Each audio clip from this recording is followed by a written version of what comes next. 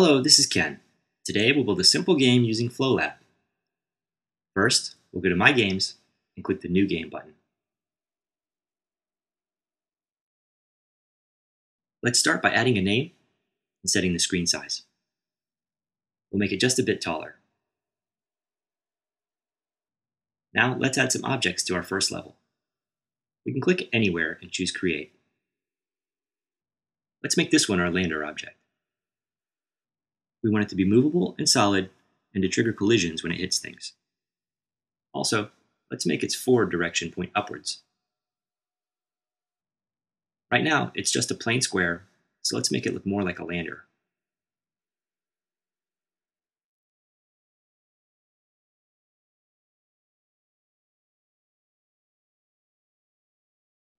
We'll need some ground too.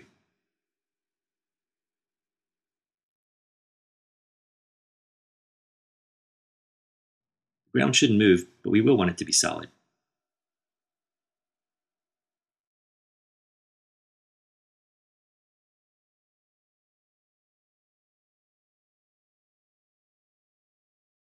Now that we have a ground object, we can just clone it to fill out the terrain. Okay, how about a better background color for our level? At any time, we can test our progress by running the game with the Run button or just by hitting the escape key. The escape key also returns us to the editor. I think we need a landing pad, so let's create one. We want it to be solid so that we land on top instead of passing through it.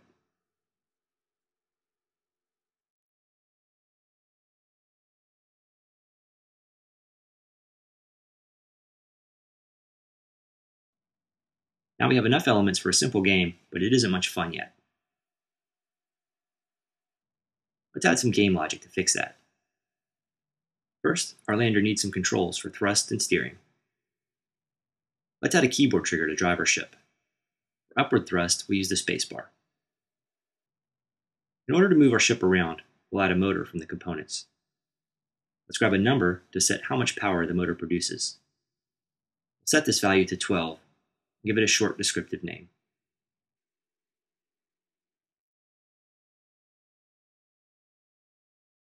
Let's connect all these together. The space key's down output gets connected to our thrust value. This value's output then gets connected to the input of our motor's y-axis. Now when we press our space key, the value 12 will be sent to our motor's y-axis. Let's try it out.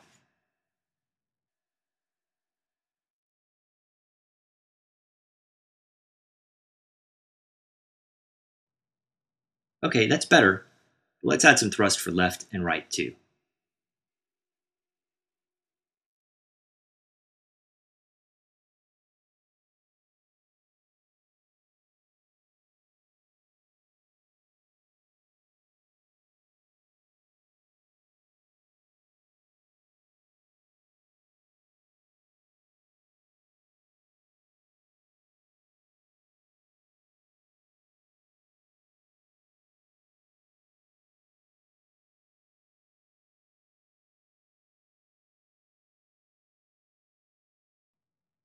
Now we can steer the lander, so let's add some solid areas to prevent it from leaving our screen.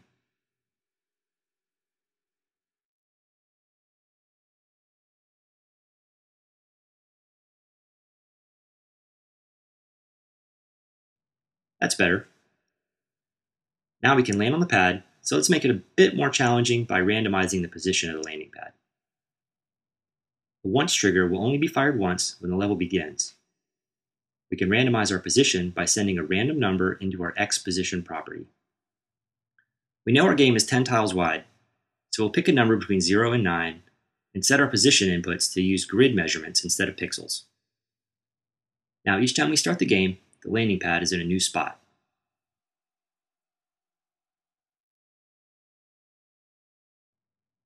We can randomize our lander's start position the same way.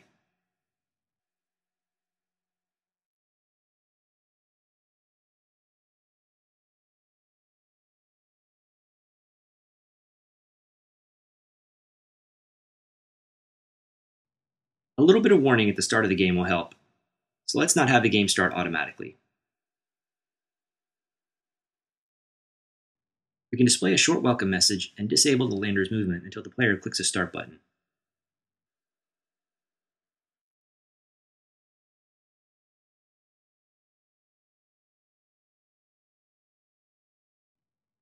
Next, our lander's rocket engine needs some attention. We can start by making a little smoke puff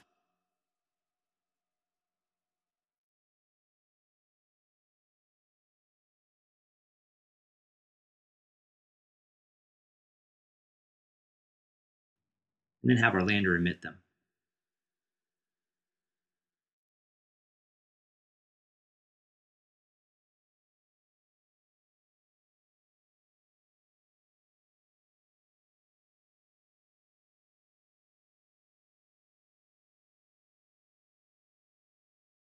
That looks a little crazy, so let's have them fade out a bit. If we look in our library and open up the smoke object, we can have the size and transparency decrease over time. First, we'll add an expression behavior, which is just a simple arithmetic expression. We'll set our top value, a, to 80%, and subtract 8 from it when the expression is evaluated. We'll send the resulting value to our size and transparency properties as well as storing the new smaller value back into A.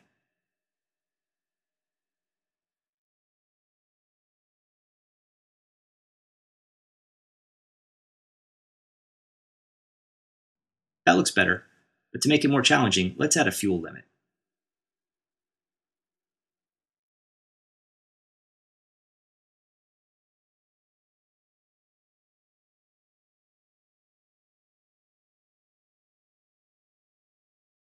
A bar will display how much fuel is remaining.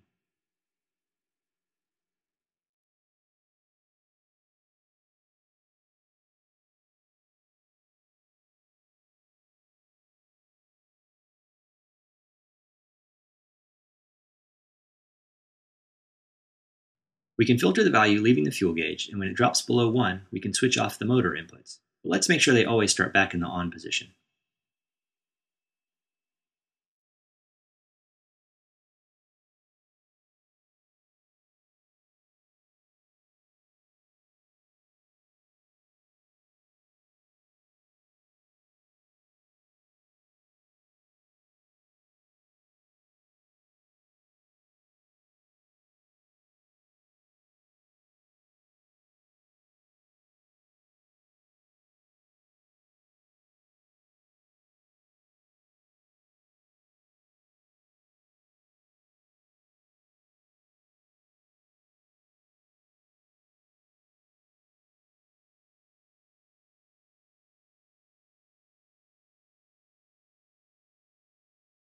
Finally, we need some way to complete the level by crashing into the ground or touching down on the landing pad. Collision triggers will fire when we collide with a specific object. For both ground and landing pad collisions, we'll trigger an alert message and restart the level when the player clicks.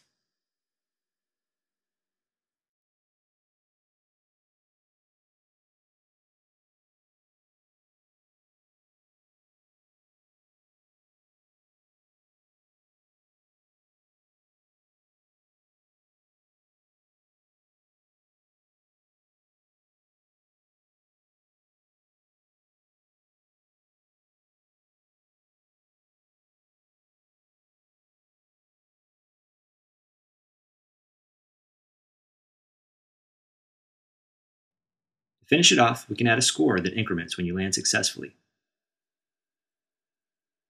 It gets zeroed out otherwise.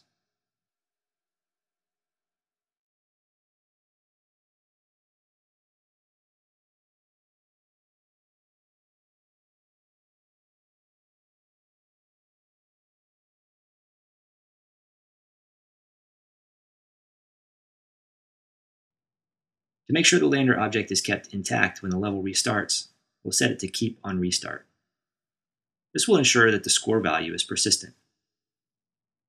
All that's left to do now is playtest our new game and send a link to our friends. This game demo and others can be found at flowlab.io. So check them out or just sign up for free and start making your own. Thanks for watching.